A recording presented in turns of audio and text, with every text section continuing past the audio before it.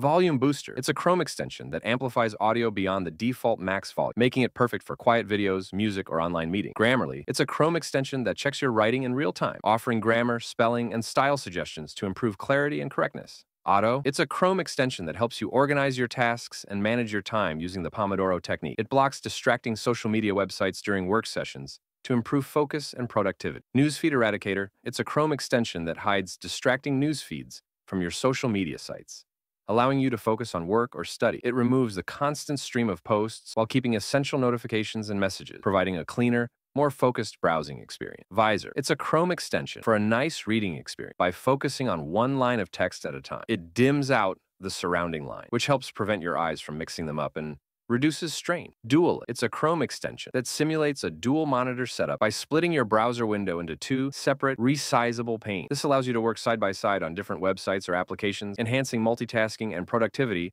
on a single display, picture in picture. It's a Chrome extension that lets you pop out video content into a floating, resizable window that stays on top of other applications. This way, you can continue watching your videos while multitasking or browsing other sites without interrupting your workflow.